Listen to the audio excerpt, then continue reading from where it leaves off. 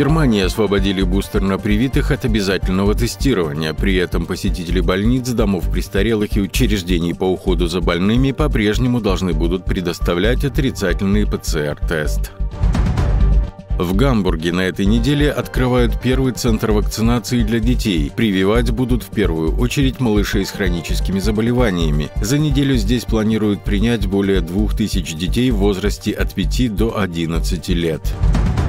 К другим новостям. Синоптики сделали прогноз погоды на праздники. По словам климатолога Карстена Бранта, шансы на Белое Рождество очень хорошие. В эту субботу в Германии придет холодный атмосферный фронт. И на следующей неделе температура воздуха заметно снизится.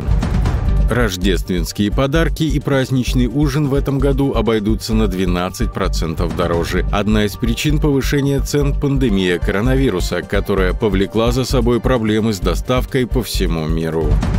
Не обошел рост цен и на немецкого гуся. Купить сейчас птицу, выращенную в Германии, по всем стандартам сложно, поэтому немцам придется платить больше или довольствоваться тем, что рождественский гусь приехал из Польши или Венгрии. Четыре из пяти тушек гуся на рынках Германии – это импорт.